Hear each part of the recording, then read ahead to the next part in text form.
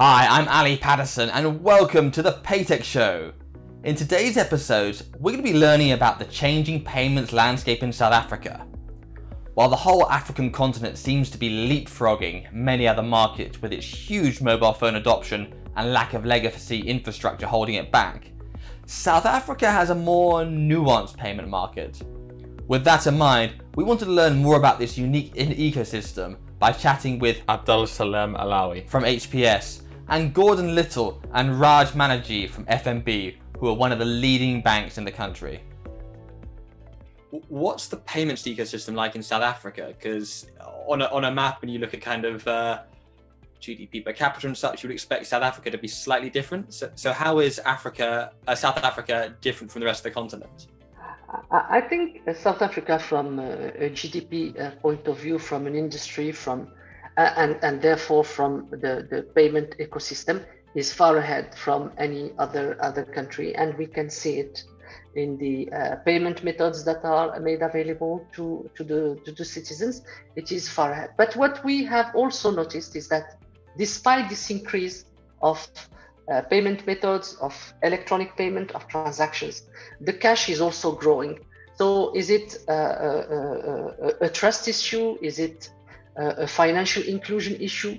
Uh, I think it is uh, something between, and I believe that uh, if we want to see a, a, a, proper, a positive, a successful financial inclusion, it should not be limited to a, a, payment method or a payment mean. It has really to include the customers inside a social security system offering them other financial products like insurance, like health, like uh, savings for the kids to go to university. It's really socially including them because financial inclusion only is, is limited in time. Payments in South Africa, it's quite an interesting uh, question. I mean, if you look at payments in South Africa, the way we see it, uh, and it's a, it's sort of representative of South Africa in general. I mean, we have a very sophisticated, modern first world payments infrastructure uh, that has actually been globally rated as one of the you know top five uh, you know payments infrastructures in the world uh, through various uh, you know independent surveys, as well as you know being a developing country with a uh, with the challenges of uh, you know some elements of our country still operating in the third world, developing world also uh, parts of our payments infrastructure that is lagging. So uh, the challenge for us as banks is we always have to grapple with the fact that we are, in many respects, quite sophisticated and comparable to many developed markets, but also have challenges of developing markets. So uh, both, both from a uh, you know a retail client or a business or corporate client, that's always the challenges that we grapple with in South Africa. Uh, Gordon, I'm not sure if you want to add anything to that. I think our, challenge largely with the payments infrastructure is it it was it's as you noted, Raj, kind of very advanced. I guess our challenge is one of inclusivity. How do we kind of spread that net and, and broaden kind of our ability to include kind of micro payments and, and, and those elements? And you know, clearly we're working hard to try and improve um, you know those those aspects of our, our payment environment. And we face plenty of competition from from the new fintechs, uh, even on our side of the world. I, I always argue that uh, fintech was born in Africa uh, with, with Safaricom a few years ago. am, am I right in thinking now that there are more cross-border payments inside the continent of Africa than there are happening outside of it? No, look, I mean, I think uh, Africa is probably similar to many other, you know, sort of broader economic zones. Is there's a lot of uh, movement of monies between different countries as uh, you know, South Africa, a lot of people working here and sending money back to their families uh, in in neighboring territories. Uh, you know, so uh, that together with the trade activity that runs between the various African countries um, does uh, generate a huge amount of cross-border flow. I'm not sure if it's bigger than the, the flows from South Africa to sort of more developed markets like the Europe uh, arguably, I think flow is bigger to Europe than into Africa, but I mean, it's something we can check. check. Customer experience. We've got to talk about customer experience and more specifically the customer interface, as it's so critical now. It is that point where the bank is directly interacting with their customer. What can you do at HPS to improve the ability of organizations to make the most of their customer interface? So, uh, as, as, you, as you said, it, the, the most important thing is the, is the user experience and how the, the customer will love to use that product. And I think it's like in anything you like, it has to be simple, it has to be seamless, and it has to be, of course, especially in payment, it has to be secure. So these three components have to be into any user experience uh, responsible team. They have to address these three main aspects. If one of them is missing, it will not simply work. Currently, there's been a lot of talk about payments infrastructure. How has using uh, HPS's Power Card helped you to deal with the significant changes in payments architecture? Yeah, sure. Thanks. I mean, I mean, basically from a FNB perspective, you know, we see uh, HPS and its solutions uh, related to Power Card uh, as being applicable in two parts of our value chain. The one is on the acquiring side, uh, which Gordon has responsibility for at an executive level, and then also on the issuing side for card issuance, which uh, you know, which is largely driven out of uh, out of out of my responsibilities. And uh, both of these platforms historically has been part of our core banking platform that we implemented in the uh, in the late 80s, early 90s, and uh, we felt that uh, you know as part of our ongoing evolution and modernization of our core banking platforms, we looked to uh, a third party to help us uh, figure out how to, to evolve and modernize our card platforms, both on the issuing and acquiring. And through uh, an extensive process, we landed up with uh, and its Power Card platforms, for both issuing and acquiring. So it's a key part of our, you know, banking platforms and, and one that, uh, you know, we believe is and will continue to play a key role in our strategies uh, in payments.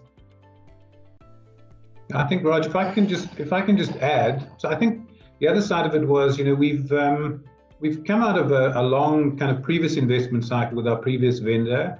There's a lot of kind of, uh, if you like, home-built solutions in that space, and we kind of felt that going with an internationally recognized vendor would give us the ability, certainly, to improve on a number of the back office functions, which uh, needed to be kind of uh, polished and, I guess, brought up brought up to to to speed we've been very happy with a lot of those gains and certainly having kind of a, a solution that's used more broadly and kind of is interfaced into into a number of, of kind of card platforms across the world. Now we see as kind of helping us quite significantly with uh, efficiency over time. That's been a big. That's certainly a big move forward. I think our own migration as well. You know, we're kind of well through that migration exercise, and we can see kind of some of the simplicity that comes with uh, the new architecture. So I think and we're very buoyed by kind of the opportunity it creates to simplify certainly a lot of our operational processes as we move forward. Um, just um, following up from that, how did you find the actual migration itself? Uh, what was the, the process like with HPS? Uh, so maybe I can take that one, Raj, and you can maybe add on on, on to that. So I, I, guess we, we followed quite a cautious approach. We we looked at, at migrating some of our smaller, simpler kind of uh, merchants first. Um, and clearly, we, we worked on kind of a, a piecemeal or a, a, staggered basis. So we picked pockets of merchants and migrated them. From a customer perspective, the migration was largely seamless, and kind of many of the smaller merchants would have had no idea that they'd moved from kind of one card acquiring platform to another. Um, at, at uh, over the last six months, we've we've started to focus on some of the more complex vendors, and uh, towards the end of this year, we'll finalize that migration by moving some of the multi multi entity, multi lane uh, vendors that or merchants that are still in in the mix. But so far so good. It's been largely seamless. And if you spoke to our client base, I mean, certainly the service interruption has been absolutely kind of uh, kind of uh, clean from our side. So very pleased with the way it's gone. And I think you know it augurs well in terms of this approach. Clearly, if we'd gone big bang, there'd have been a lot of kind of concern, and certainly as a as a development shop that likes to build our own stuff, you know, picking a path where we could gently find our feet has worked well for both the bank and uh, and the merchants in that particular space.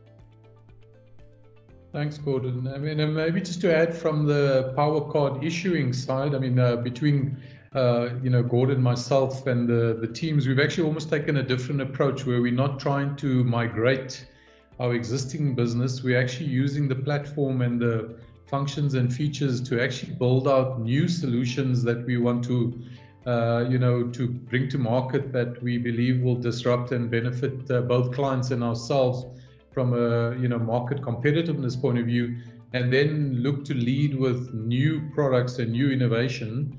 And then over time you know hopefully the migration will become easier as a result because uh, you know in just for context there one of the big challenges on the issuance side is the the world of the physical card and where is that going to evolve to over time you know given the the rapid increase in uh, you know app uh, app based uh, solutioning you know so uh, the more clients will use their apps to to to, to pay for things, whether it's through a virtual card, through one of the pays like Apple Pay, Samsung Pay, and even our own pay, which is FNB Pay.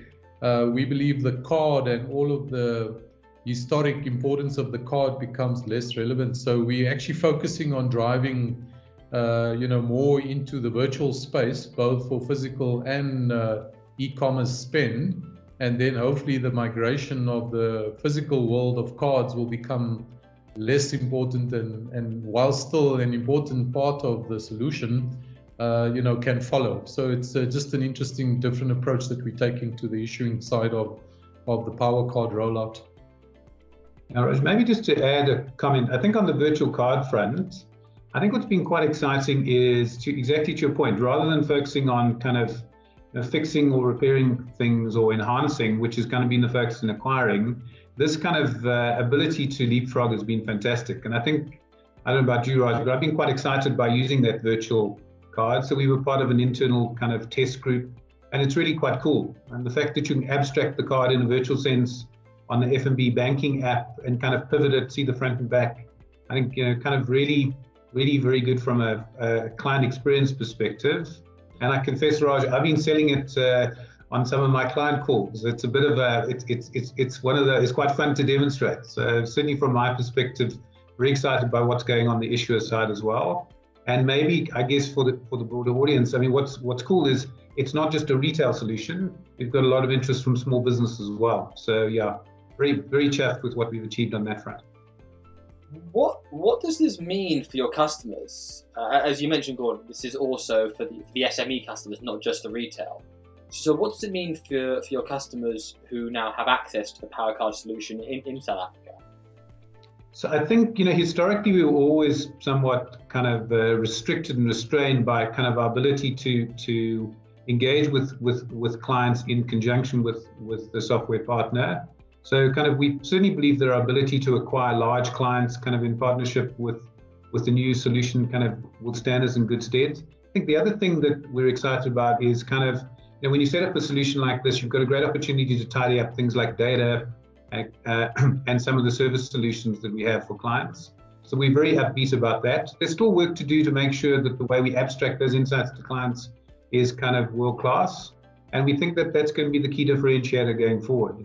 Also, very excited by kind of our ability to use some of the data sets that come across these hubs uh, to produce better client insights. I think that's going to stand us in in good stead. And I think the other reality was you, to my earlier point, we'd invested a lot in the legacy platform. It really was a time to transform it and make sure that we've got a far more flexible and malleable solution for both the bank and our client set.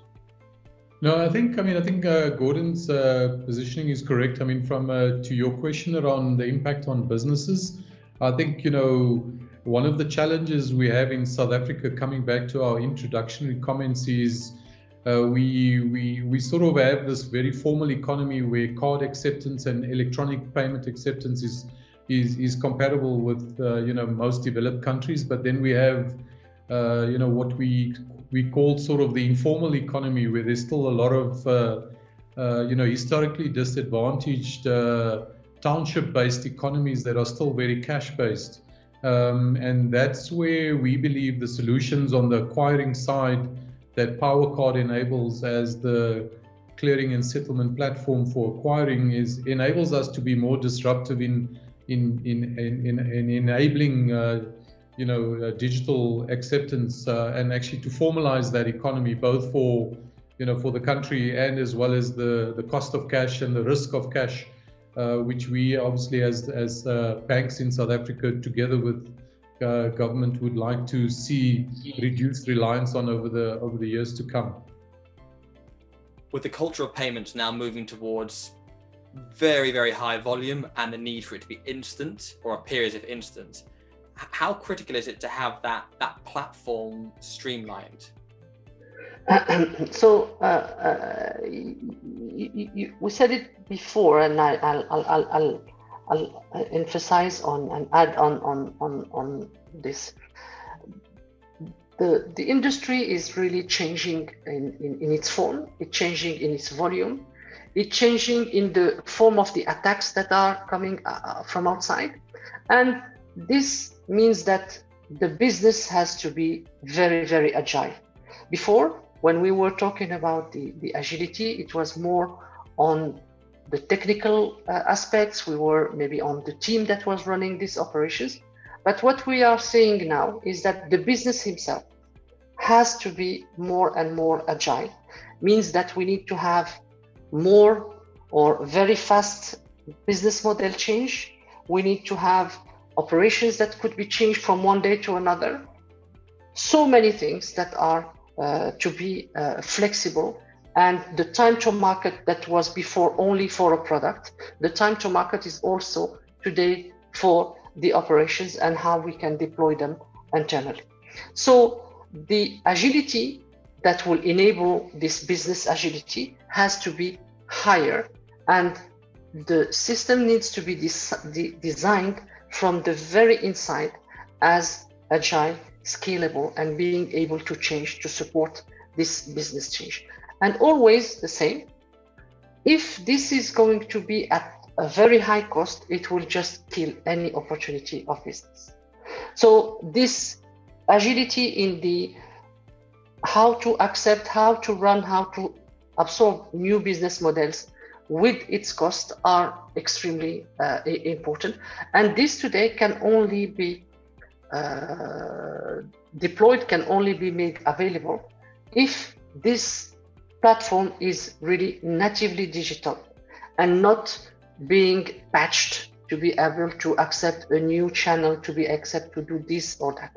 And in HPS, in PowerCard, even if we have been in this business for many, many years and and a lot of our customers has testified that that when they come to us they they think that we are between bracket old but they have seen and they have witnessed that the investment we do in our research and in development and in our innovation is that we have a new platform every uh, several years, every five to six years. It's really a new platform that is brought to the market and not just a, a makeup on a legacy platform that is uh, uh, growing.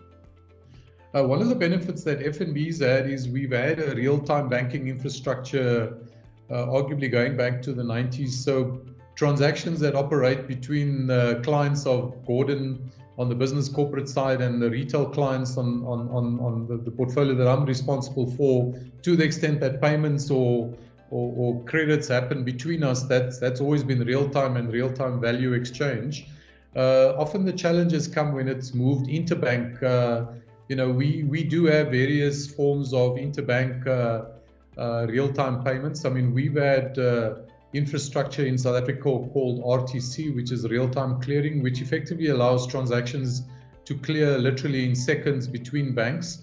Um, and you know that we were one of arguably one of the first countries in the world to adopt that payment mechanism going back arguably 15 20 years now um, the challenge is that we haven't evolved that over the years, and you know some of the new, more modern uh, real-time payments infrastructure uh, maybe has you know has moved ahead of us there. And then obviously the big challenge that, and I mean I suppose this is where uh, between where card and EFT uh, we see as the sort of big thing that we all need to figure out what's the future is that there's this convergence of card-based real-time payments and EFT-based real-time payments. And at the moment, you know, I mean, those rails are arguably developing independently of each other. Um, and both, you know, especially in the interbank space and uh, certainly our view is that we need to move to more common capabilities, you know, fraud, uh, disputes, chargebacks, etc., um, and allow for convergence of rails between card and EFT for real-time payments, which is sort of the big next thing that we as an industry uh, need to get our heads around. Uh, Gordon, I'm not sure if you want to add to that. So, so I think, look, it's it's an interesting uh, debate. I, I, think kind of the other side is that the service model in South Africa also historically has meant that even kind of where we've got merchants on the other side, we're giving them kind of value kind of by close of business. So historically, you know, some of the delays that you see in other parts of the world between kind of a card swipe and settlement simply, you know, is, hasn't been an issue in the South African context. So people have become used to, I, I guess, high standards of certainty linked particularly to card payments. And part of our challenge going forward is, you know, kind of how do we make sure that people value kind of uh, the the ability to either push payments to give certainty or, or respect the fact that you know the swiping of a card, virtual or actual, you know, has got a different kind of uh, value and uh, and and kind of and conceptually a different fee that gets levied com- compared to payments which have less certainty. I think the other side of, of, of the point, and it goes back to what Raj said earlier, is like in many occasions, in many circumstances, we haven't pressed correctly priced for cash. So currently, the incentive isn't isn't in the system for people to migrate from from cash to card. And if you go back probably the last 10 or 12 years, we've worked really hard to try and migrate as much cash to card as we can. But it's an ongoing journey.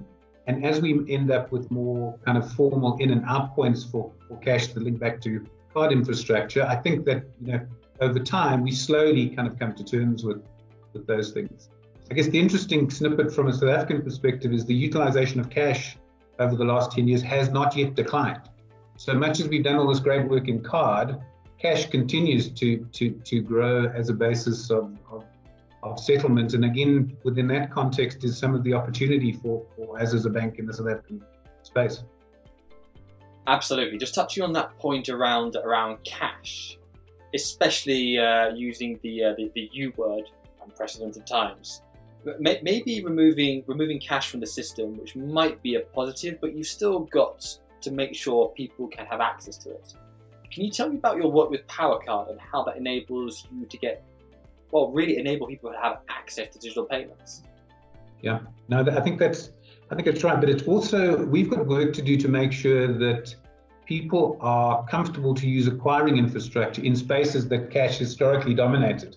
So part of that is kind of making sure that we've got affordable solutions for smaller informal merchants in, in that space. So that's part of the journey that I guess the banks are, are on. And you know, some of the solutions in that space are like using you know QR code for acquiring and having kind of PowerCard in the back end kind of facilitate some of that that migration. So we we we're working hard. We also think that in the acquiring space, um, you know, kind of we, we're going to go away from requiring hard terminals to kind of, you know, software enabled kind of uh, terminals going forward. As a consequence, you know, the need to have a physical device kind of will, will, disappear and people will be able to use their, their smartphone for acquiring. So we're kind of working hard to try and make sure that acceptance grows as technology moves to allow further inclusivity.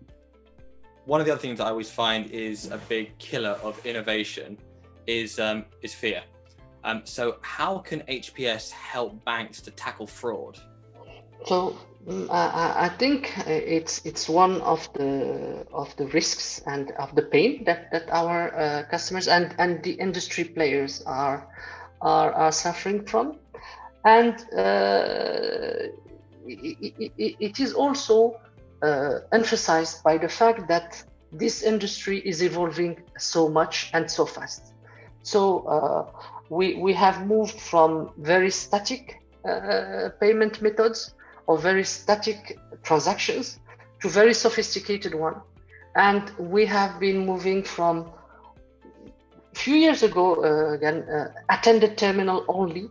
And if you if you remember, the first unattended terminals were the the, the, the, the gas stations, and, and it's there that the fraud was was very very high at, at, that time. And when you have a look at what is happening today, more and more unattended terminals, the more and more independence is given to the payer, to the payee. Merchants are able to take uh, payments on their mobiles. Customers are able to pay on their mobiles. Sometimes we go into uh, uh, invisible payment where nobody knows really if he's paid or, or, or paying. So the whole thing is, is changing. And the, the way the fraud need to be addressed or the, the, the risk generally speaking need to be addressed is also uh, have to follow this trend.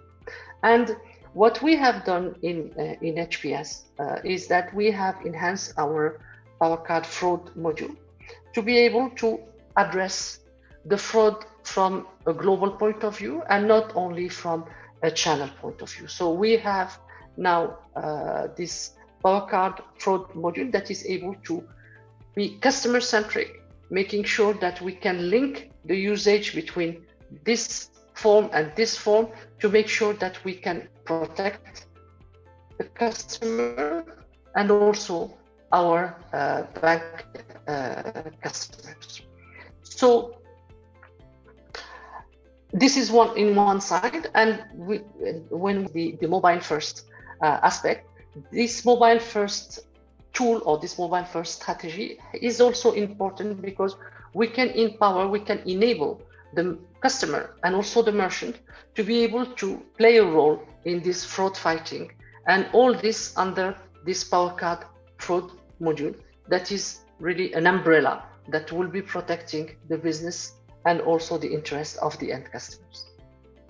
What has HPS's platform done to lower fraud to your merchants? So I think you know some of the flexibility comes from the rule sets that are, are kind of available in in the platform. I think you end up with with more transparency, more parameterization, and again against that backdrop, we can also tap into the fraud experience of using kind of a global vendor. So that's where we think the benefits come from. I mean, unfortunately, kind of card fraud through both the merchant as, as well as on the issuer side is a big issue for us in, in the South African context. So you know, the implementation of PowerCard, I guess, is a further enhancement in terms of the tools that we have to try and prevent fraud. You know, historically, we've had um, we've had challenges with with um, fraudulent merchants, but we think the controls in the new solution kind of you know further help us in that space. We've also done some really cool work in our own uh, fraud space outside of the, the PowerCard platform to make sure we pre-score a lot of merchants so that when they do join us, as clients, we've got a kind of our own window of insight as to the nature of that client, which is, again, I think that in conjunction with the platform stands us in good stead for the future. Well, that's all we've got time for on today's episode of the Paytech Show. You can catch the rest of the HPS payment series on the Paytech Show over at fintechf.com and on YouTube and Vimeo. Thanks for watching. Bye for now.